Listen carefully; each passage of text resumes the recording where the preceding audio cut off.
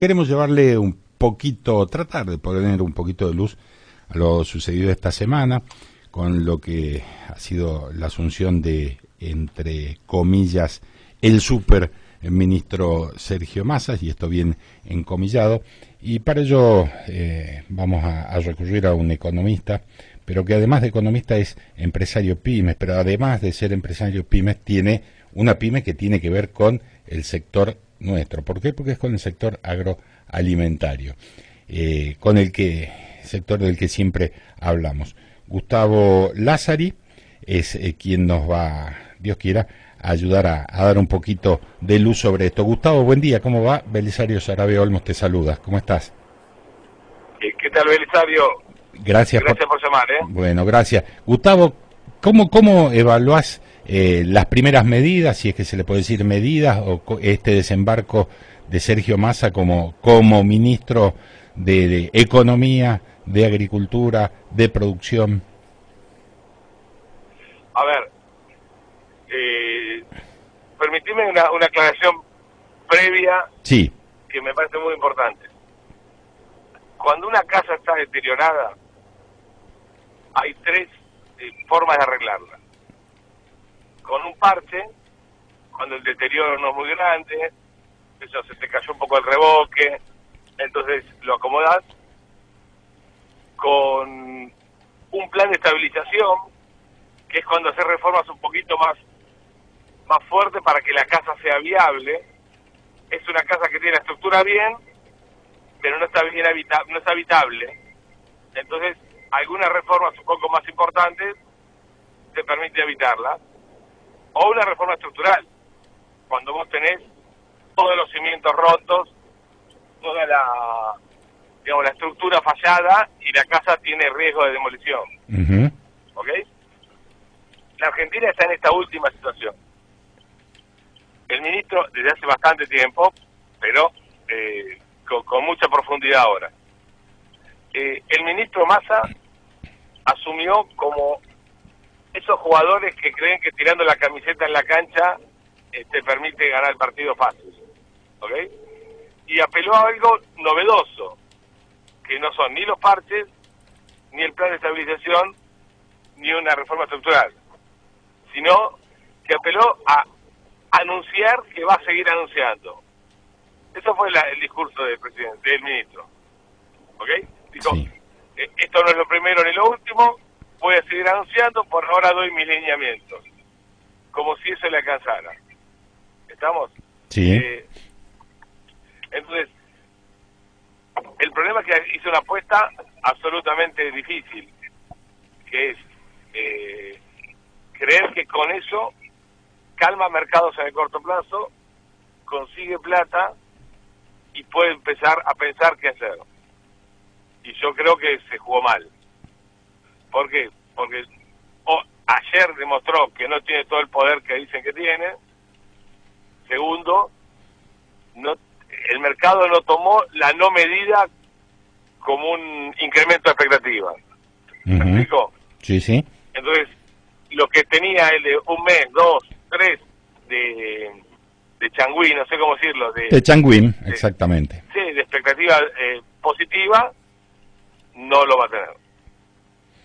Gustavo... Ahí, eh, ahí se empieza a complicar y yo creo que la semana que viene va a ser una semana un poco más caliente. Gustavo, esto que vos decís de esta señal de ayer y que entiendo tiene que ver con, con esta supuesta designación de, del viceministro, nos vuelve a mostrar eh, una grieta importante que hay acá, que el problema no es solo económico, sino que también es político, ¿no? Yo, sí, yo te agregaría que no solo es político, económico, sino que ya es de equilibrio mental. Porque, a, ver, eh, yo no sé qué cuadro es usted, Belisario River, pero, no le doy mucha bolilla. Me puedo sentar tranquilamente a conversar sobre un problema en común. Sí. ¿Ok? Eh, no sé qué dijo usted de mí antes, no importa, pero me puedo sentar a conversar sobre un problema nuevo hacia el futuro que tenemos. ¿Ok? O sea, yo voy a la cancha y me abrazo con gente que no conozco cuando hacemos un gol y me preocupo de la misma manera cuando el equipo juega mal. Es decir, acá hay un problema de empatía emocional de gente que con todo respeto, no está bien de la cabeza. Porque echar a una persona que supuestamente tiene las cualidades técnicas para un cargo por lo que podría denominarse delito de opinión, es un delirio. Aparte del dato, hay otro objetivo. Hoy venía, hoy venía pensando, supongamos que Cristina haya tenido la mejor buena voluntad, que no haya nadie se ha robado nunca nada. Ya que estoy haciendo un supuesto fuerte, ¿no? Eh, el dato objetivo es que la política fiscal de incremento de gasto público durante el, periodo de Cristina fue, fue un error. Los países no crecen 15% del Producto Bruto del Gasto en, en 10 años. Es una locura, no pasan ni en las guerras. Entonces, e, eso es un dato objetivo.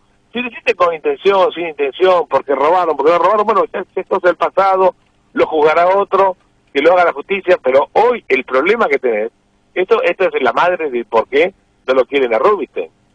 Eh, porque tipo, la política fiscal del kirchnerismo fue un desastre. Y es un objetivo. Y es lo que tenemos que arreglar de acá para adelante. ¿Ok? a mí, para mí me parece que echar a un tipo por lo que podemos denominar delito de opinión eh, eh, es, desequilibrio mental, perdón, no, es algo que no, está bien en la, cabeza. Gustavo, y eh, vos sos, fuera de economista, bueno, empresario pymes, estás en el tema, que tenés un frigorífico con el tema chacinados, ¿no es cierto? O sea que estás muy pegado a, lo que es la, economía agropecuaria. ¿Ves alguna luz este, en, el posicionamiento que en, en estas medidas que voy a anunciar mañana supuestamente de, Sergio Massa, ¿vos crees que, por ejemplo, la designación de, una figura como la de eh, Bahillo eh, puede servirle al, sector agropecuario? A ver, ahí sí, ahí lo que manda siempre es la política y honestamente Massa va a hacer una, una suerte de caja de, sorpresa durante un mes y medio, dos meses mientras vaya anunciando. Hasta que, viste como en el truco, le tomás el pulso de cómo juega, ¿no? Te canta la falta con 20 y ya sabes lo que lo que está haciendo. Pero, a ver, la Argentina tiene una sola solución, punto, que es destrabar el músculo productivo. Eso lo saben todos.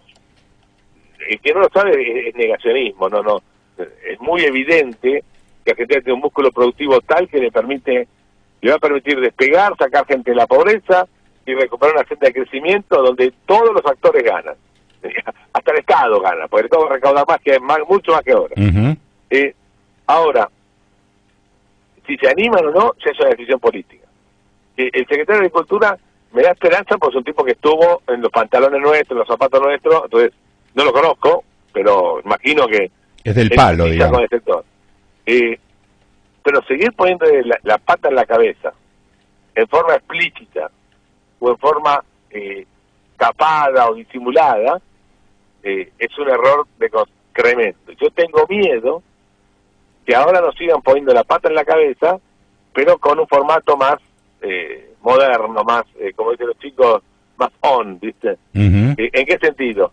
Que no te voy a dar el dólar que, que, el sector necesita, o, mejor dicho, el tipo de cambio real de la Argentina. No, te voy a dar una combinación polinómica de una parte contada con líquido, otra parte oficial, otra parte no espera. No, no, no, no, no, no es así. Eso no va a liberar el potencial productivo del sector. Eh, no, no, eh, eso no hace nada, eso es una tontería para, para los, las capas de los diarios. Eh, hay una cuestión, que la Argentina tiene un problema estructural integral.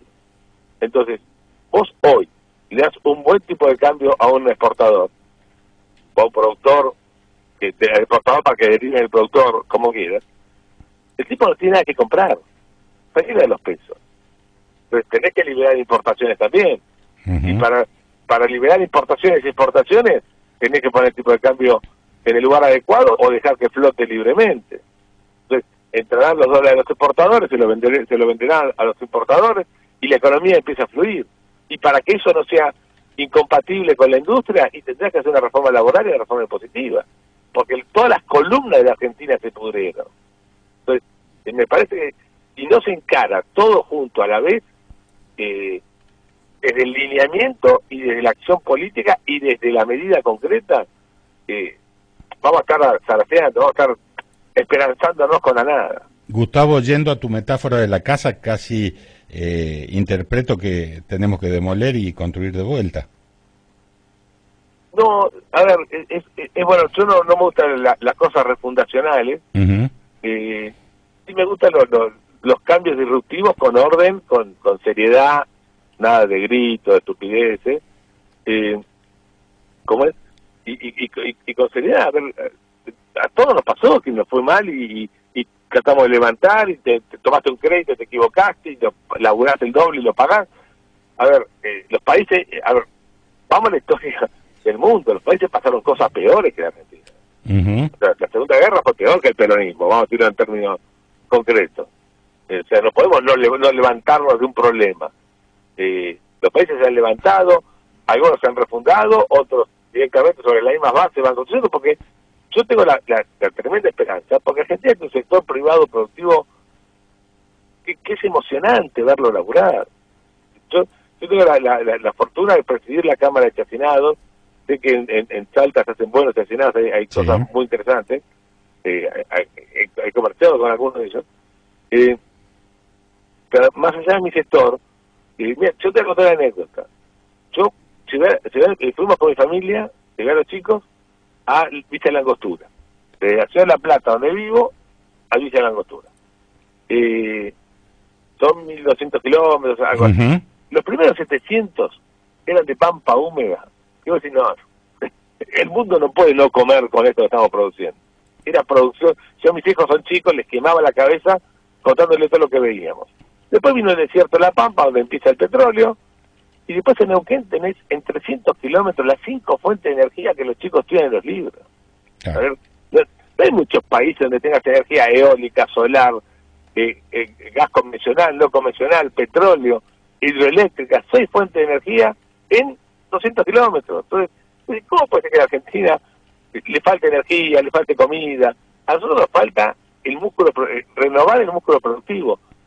Y, cuando hablas con comerciantes, con empresarios, grandes, chicos, medianos, yo la misma pregunta, cuando doy las charlas, eh, se la hago al empresario grande, al chiquito, al kiosquero. Digo, si te saco ingresos brutos, te saco los impuestos, te saco las regulaciones, los permisos, que la habilitación no sea un trámite ¿viste, del balseiro, eh, te, mejoro la, la industria, te saco la industria del juicio con en ese juicio se saca en la Argentina con dos normas. No hay que demoler nada, no hay que hay que respetar los derechos del trabajador, porque el trabajador puede tener derechos sin industria del juicio. Eh, y tipo, lo primero que te dicen, yo trabajo el doble. duplico mi, mi producción, duplico mi inversión. Entonces, a mí cuando me dice un empresario grande, entonces este tipo puede estar tranquilamente jugando al golf hasta hasta que la pelotita sea una bolita de, la, de las canicas que usábamos nosotros. Eh, o se lo digo a un kiosquero, que el tipo puede decir, yo me voy, a, me voy a Nueva Zelanda y me dejan de joder. Y dice, no, yo duplico. me parece tan evidente que está ahí la cosa. La memoria muscular productiva está intacta. No lo vemos. eh, Gustavo, eh, vos, vos estás en, en política. Eh, ¿cómo, ¿Cómo ves el rol de la oposición en este, eh, justamente, y y, marcando, a ver, estás con una figura como, como es la de López Murphy, que, que tiene un peso gravitacional importante en economía, ¿cómo, cómo ves la figura de, de la oposición eh, en este periodo masa? ¿Qué debería hacer?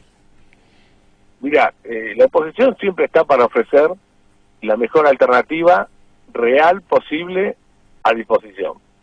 Me parece que ese es el rol. Nosotros tenemos que tener propuestas concretas como si asumiéramos mañana. Me parece que hoy la, la oposición, y que nadie lo tome a mal, debería ser un gabinete en la sombra, debería decir, señor, sobre salud tenemos esto, sobre educación tenemos esto, que de hecho lo tienen, y yo estoy con Ricardo López Murphy porque sé que, es un ministeriable o un presidenciable mañana, porque no, no te va a dudar ni tardar una semana en, en en decir lo que hay que hacer hoy en la Argentina.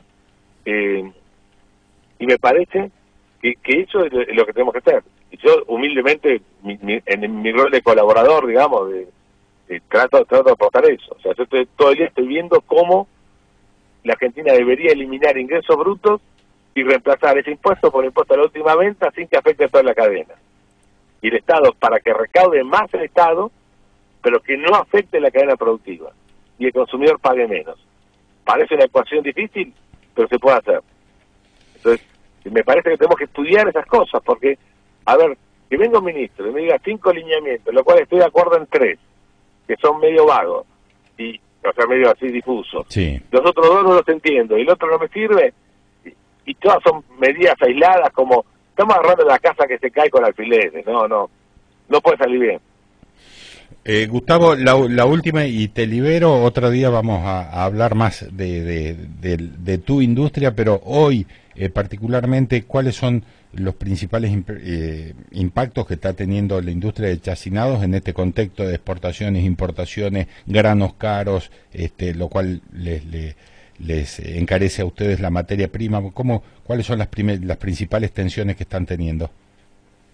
Mira, yo consigo, te digo rápido, yo consigo la industria desde el agua hasta el sanguchito que se come un chico con una sonrisa. Así es.